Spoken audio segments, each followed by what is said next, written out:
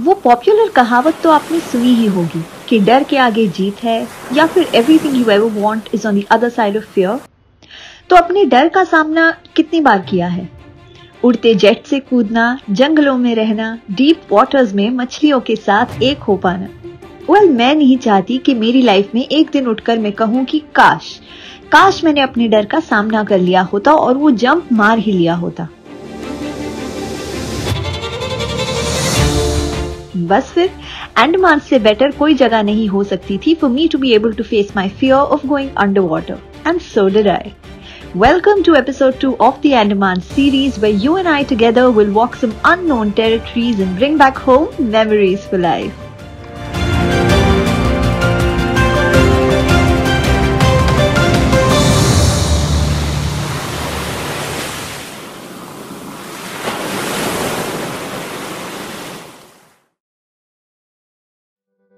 Good morning from day three in the Andamans मैं हैवलॉक में ही हूँ एंड यहाँ की सुबह का नज़ारा कुछ ऐसा दिखता है। I just woke up at my beach cottage और किसी भी नए डेस्टिनेशन में सुबह उठना काफ़ी स्पेशल लगता है। And speaking of special Havelock island beach resort leaves no stone unturned in making you feel special ये मेरी आज सुबह का ब्रेकफास्ट सेटअप है right by the beach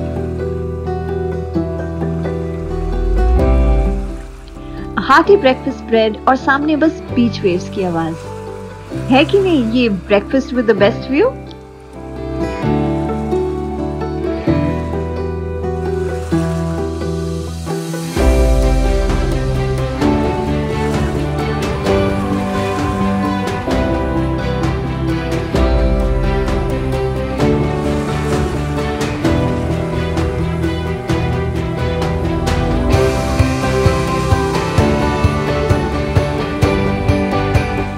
आज इस होटल के बीच पर सिर्फ़ ब्रेकफास्ट ही नहीं, कुछ और भी हम करने वाले हैं। And that is a quick training session for my very first scuba dive तो बस फिर ब्रेकफास्ट करके I jumped into my wet suit and we headed to start off with getting to know some under water skills and science अगर आपने कभी scuba dive किया नहीं है तो this may prove to be quite an insight into what it is like to take your first dive We started off with putting on a weight belt क्योंकि ये पानी में जाकर buoyancy maintain करने में help करता है basically an easier descent and ascent in and off the water. And then we waded off into the shallow water. This training by the way can also be taken in a swimming pool.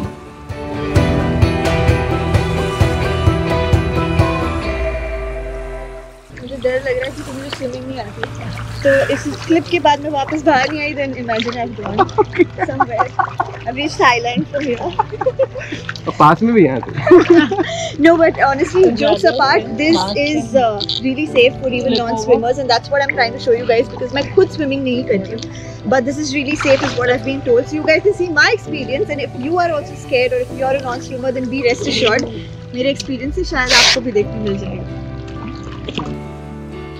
We started off with putting on a BCD, which is a buoyancy compensation device, and a diving mask. The tank attached to the BCD weighs somewhere between 20 to 25 kgs और इसलिए if you're a beginner like me, इसे पानी में आके पहनना is a better option so that the weight doesn't intimidate you.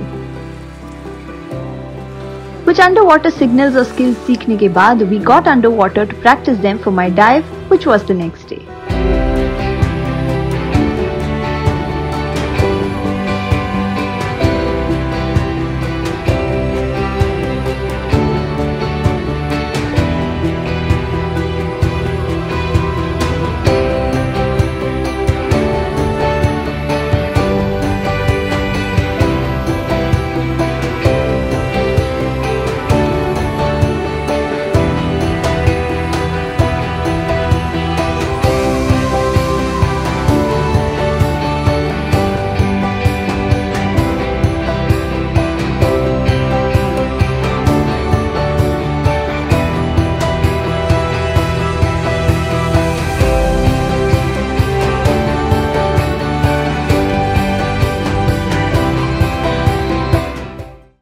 It's great. I managed to do it. हो तो गया। आज तो हो गया ट्रेनिंग में कर देखते कुछ देर रिसोर्ट में रेस्ट करने के बाद मैं निकल पड़ी towards the jetty to head to elephant beach जो वाटर स्पोर्ट्स के लिए काफ़ी पॉपुलर है।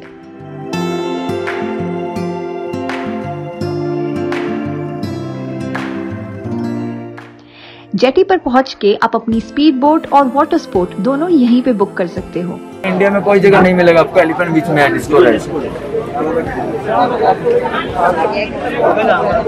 बहुत एडवेंचर राइड है। इंडिया में कोई जगह नहीं है ये खाली एलिफेंट बीच में चल रहा है। डिस्को राइड सर बहुत एडवेंचर राइड है। ना सर घूमता ना उल्टी आता है इसमें।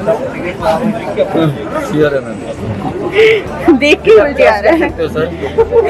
पोर्ट ब्लेयर से हैवलॉक में आई थी और जो पोर्ट था वहाँ पे जहाँ से जेटी जो जेटी पॉइंट है it's the same jetty point जो मेरे पीछे है वहाँ पे इंटर आइलैंड जो बड़े क्रूजेस होते हैं वो होते हैं। और इस इस तरफ़ पे जो सारे स्पीड बोट्स और छोटे बोट्स होते हैं just to like go around at closer spots वो है। तो इसी स्पीड बोट को लेकर मैं जाने वाली हूँ to the elephant beach just getting some paper work sorted यहाँ पे कुछ परमिशन वगैरह लेने होते हैं you sign some forms etcetera आप जब एक बार यहाँ पे आ जाओगे पोर्ट पे, आपको खुद वो बता देंगे कि क्या साइन करना है और कहाँ पे पेमेंट करना है। So just to finish all of that and then hop on to one of these speed boats से एलिफेंट बीच पहुँचने के दो रास्ते हैं।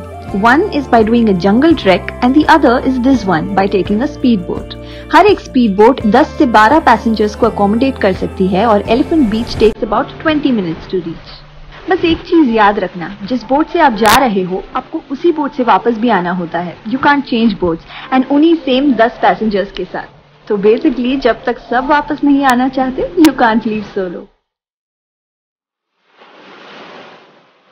But nothing about the beach will make you want to leave. पानी काफ़ी साफ़ है और बीच काफ़ी लाइवली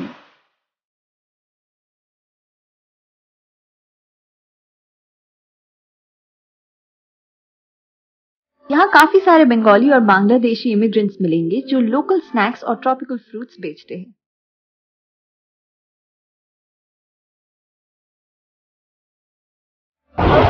ये है आम ज़िंदगी। और ये है मेंटोर सेलिब्रिटी सेलिब्रिटी मेंटोर ज़िंदगी। ये जीना You can choose to jet ski, take a banana boat ride or do other water sports. हम कुछ कंटेंट शूट करके निकल गए as we had some other plans for today's sunset. अब अंडमान जाकर इतना कुछ नया सीख ही रही हूँ तो सोचा लगे हाथ क्यों ना एक स्पीड बोट चलाना भी सीख लूँ? क्या पता लाइफ में कब कैप्टन बनना पड़ जाए? The MFV Cayman is a 36-footer 12-seater fishing boat और इस पर से सनसेट को देखना is a different experience altogether. अगर आप इसे बुक करना चाहते हो तो लिंक मैंने डिस्क्रिप्शन में मेंशन की है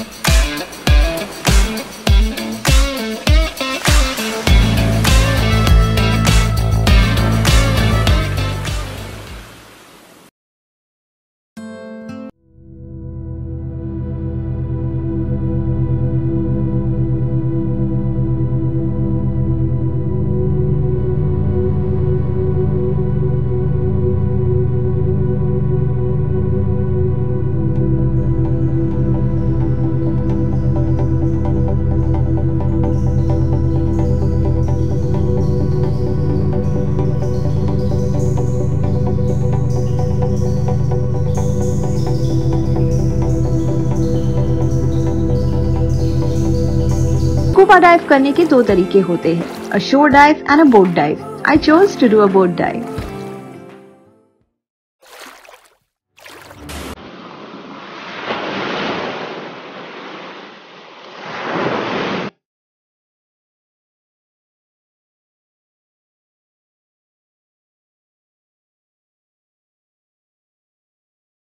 And once I geared up, did a final revision of the signals learnt yesterday, There I was, making a leap I barely thought I ever would.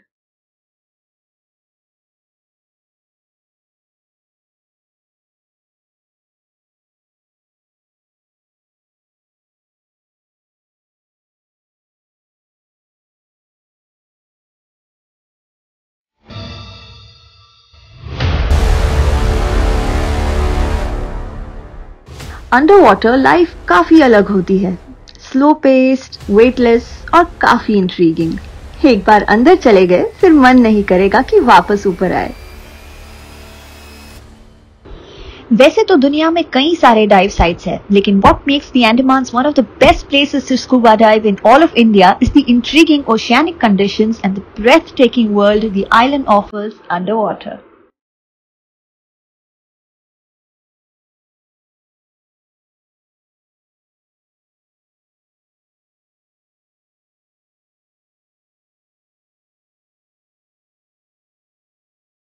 And yes, to answer one of the most asked questions to me, इन्हीं का एक diver अपना खुद का underwater camera लेकर साथ आता है to get you photos and videos that is inclusive of the price you pay to scuba dive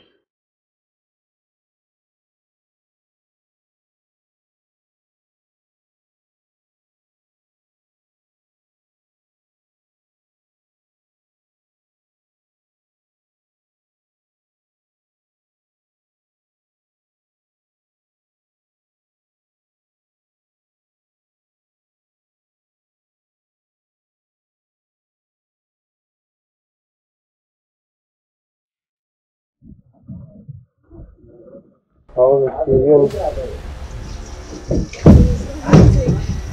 It was one of the best experiences.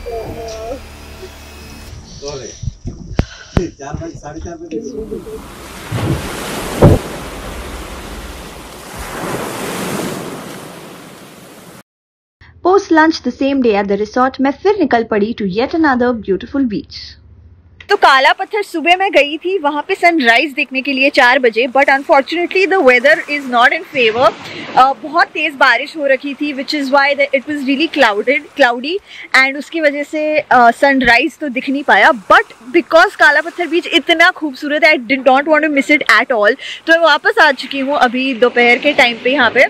And it is so gorgeous जो main spot है crowded वहाँ से थोड़ा दूर आके I found myself like a secluded spot which has like mangroves and stuff यहाँ पे. Amazing place for pictures and stuff like that I'm going to get some amazing shots over which you guys will see in 3, 2, 1.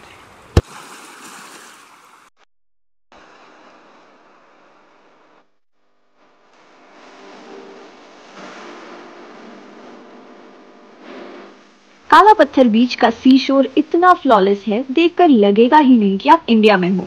इस बीच को अपना नाम मिला है इसके adjoin street से, जो है द ब्लैक रोड और कभी मौका मिले तो यहाँ सुबह चार बजे आकर सनराइज ज़रूर एक्सपीरियंस करना।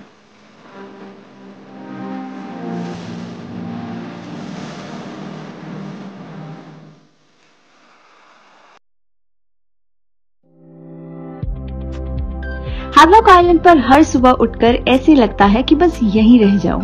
वो बीच वेव्स की आवाज़ ठंडी हवा और मेरे कॉटेज का व्यू वेल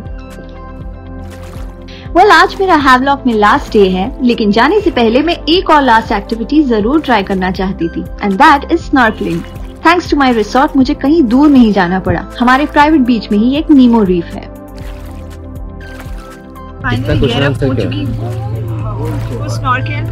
यहाँ पे नीमो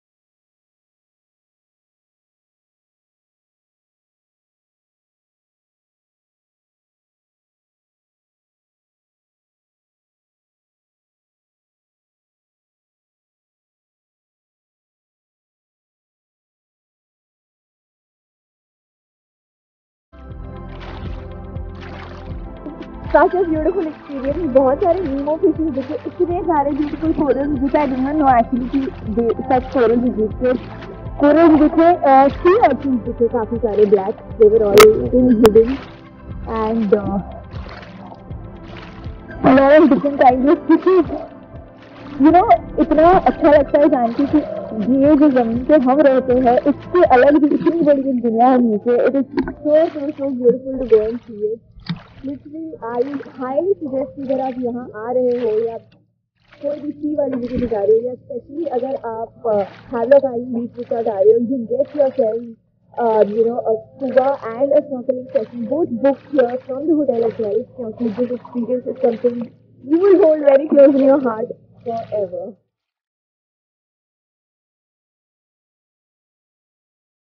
Well, this brings me to the end of this vlog. Don't forget to hit a like अगर आपको ये वीडियो अच्छा लगा हो और वीडियो का डिस्क्रिप्शन देखना मत भूलना It has all the details you need to make a note of. Stay tuned for the third and last episode of the Andaman series जहाँ I will cover a detailed 7-day guide and itinerary across the Andamans, a complete budget breakdown, places to stay, eat, things to do and things that you can give a miss. Until then, stay safe and goodbye.